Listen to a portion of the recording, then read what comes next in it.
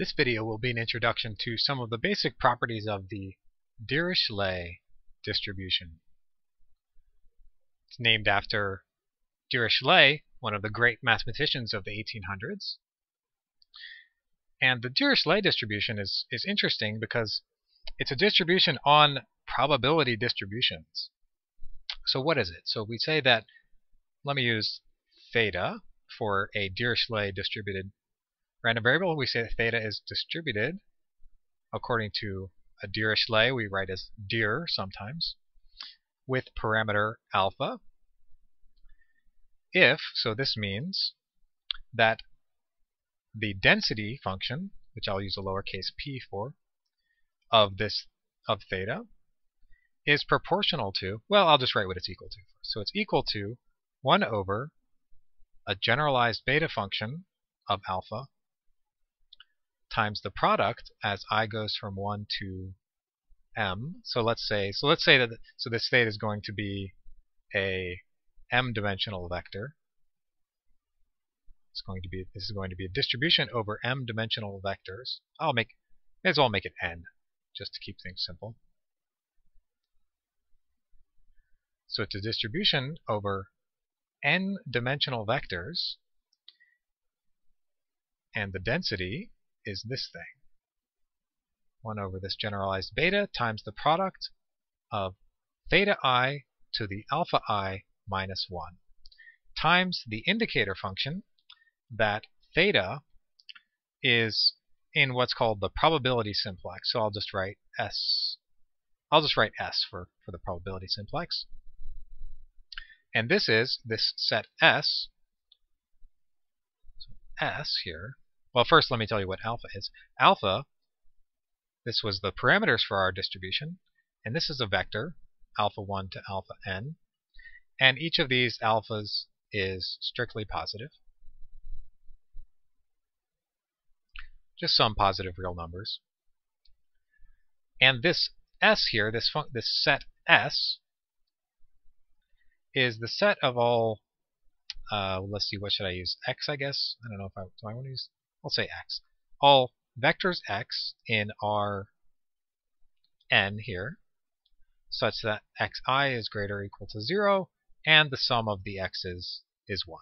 So each of these is just, so this is just the set of PMFs on the numbers 1 to n. right? This is just these are just the conditions for a probability mass function. It's just some numbers that are non-negative and and they sum to one. So this we call this is called the probability simplex.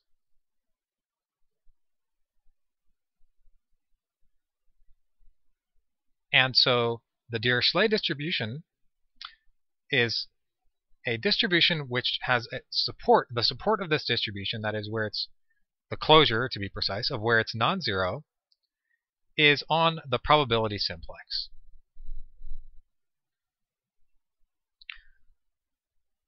And oh, so I have to define this beta this beta function here, this thing. That is beta of alpha. Well, let me write 1 over. That's a little little clearer. 1 over this generalized beta function is it uses the gamma functions. So you can think of it as sort of a generalized multinomial coefficient. Sort of an analogy to a multinomial distribution. So it's gamma of alpha 0 over the product of these gamma functions, gamma of alpha i, product of all those, where alpha, uh, alpha 0 is, where should I put alpha 0? Alpha 0 will define to just be the sum of all the alphas i from 1 to n. So that's that's this alpha 0. So that's the Dirichlet distribution. That's it. It's just this. It's defined by this density function. And it's a distribution over these n-dimensional vectors, real value vectors. So let's look at um, a little bit of intuition for what the distribution what this distribution looks like, let me give you a couple. So first of all, what's this probability simplex thing?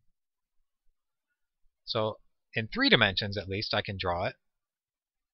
If this is the first coordinate, the theta 1 coordinate, the theta 2, and the theta 3 coordinates, then the set of all these, the triples theta 1, 2, and 3 that satisfy these conditions are just this triangle. This sort of, it's, uh, you know, you could think of the plane cutting through here through these points, uh, you know, where this is 1 and the others are 0, this is 1, the others are and so on. And it's just the subset of that plane in the non-negative orthant here.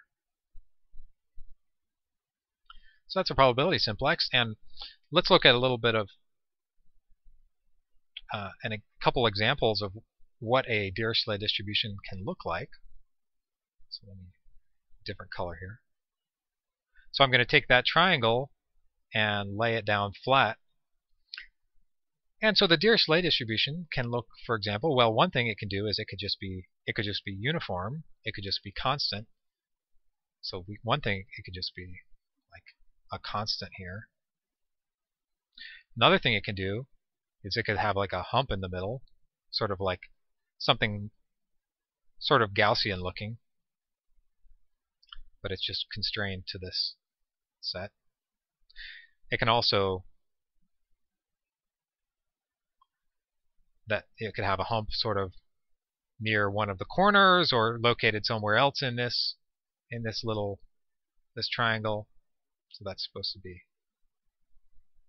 sort of like that and you can also it can also do kind of interesting things like it can spike up at the corners so if this is that same triangle again it can also go like for example it could go like this, spike up at that corner, maybe spike at this corner too, and maybe not on this one. So that's supposed to be spiking up there, going up off to infinity.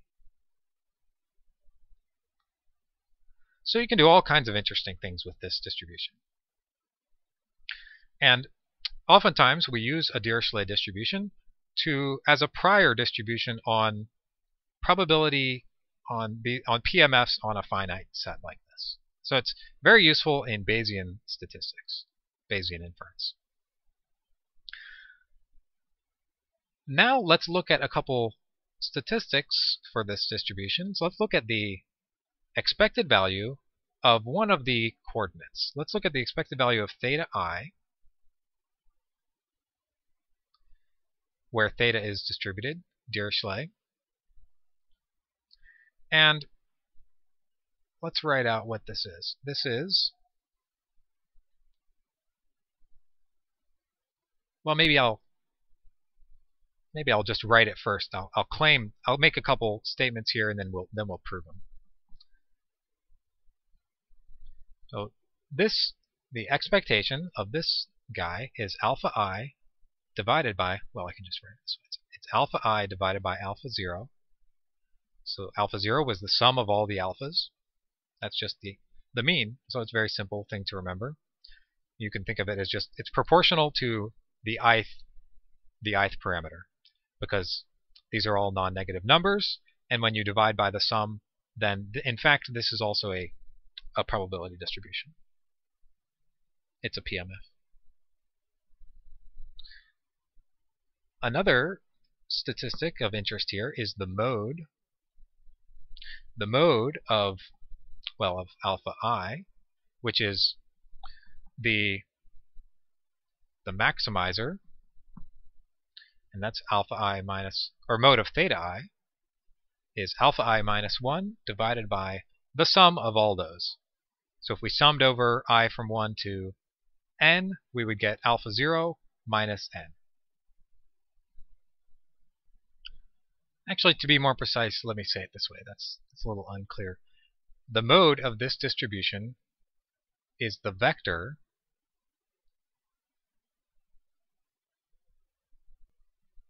alpha 1 minus 1 over alpha 0 minus n. Same thing with alpha 2 up to alpha n minus 1 divided by alpha 0 minus n. So in other words, when we when we take this vector, when we set theta equal to this vector, then the distribution, this density function is maximized. So this is the maximizer of the distribution, the mode.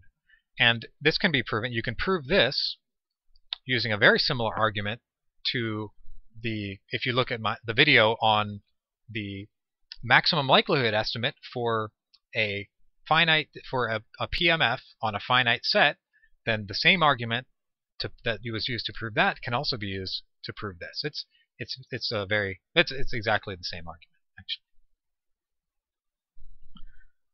And let me also give you one more statistic here for the distribution. The variance of the ith remember this this is a this is a random theta is a random vector and so this is the these are statistics for the ith component of that vector. And the variance for the ith component is let's see I don't remember it offhand but it is alpha i times alpha 0 i times alpha 0 minus alpha i divided by alpha 0 squared times alpha 0 plus 1. That's the variance. And let me make um, a little remark here. Something to, to get some intuition for what these parameters are doing, these alphas. If you think about taking alpha i, for example, or let's say 1, say i is 1. So if we took 1, alpha 1, and Okay, so well, first of all, let's let's think about this. So first of all, let's think about if all the alphas were equal to 1. Set that every every element of this vector is just a 1. Then the exponents here just become zeros. And so this is just a constant. So in fact, it's the uniform. It's uniform distribution over the probability simplex. So in particular, this is that would be this case right here, right? We set them all equal to 1, and we get a uniform distribution. Now suppose we we set them all equal to 1, except then we, we're going to play with alpha 1. So what happens if we make alpha 1 big? Let's say we jack up alpha 1 really big. Then, if we look at the expected value of theta 1, that tells us nominally what theta 1 is going to look like. And when alpha 1 is big, this, so as alpha 1 is getting bigger and bigger, this number is going to 1 because alpha 0 is the sum of all the alphas. So when all the others are constant, this is going to 1. And so this expected value, well, it's not like that. It's going to be a situation, something more like this here. That if this was this was 1, 2, 3, the mass is is is aggregating at, at 1. On the other hand, let's say that we took we held all the others at 1 and we took alpha 1 to be less than 1. Remember, it has to be positive, but we could make it like a half or something.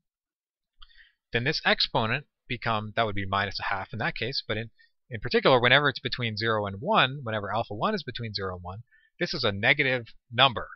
So we get 1 over, so, so this is, so so when alpha, so we would get like 1 over theta to the 1 half or something.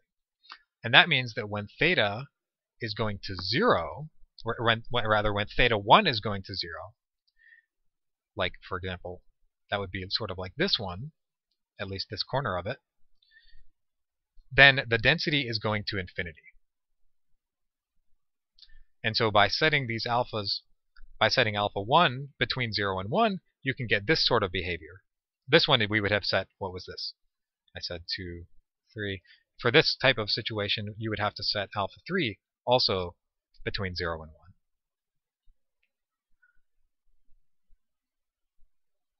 So hopefully that gives you some intuition for how you can get different types of distributions using this the Dirichlet distribution.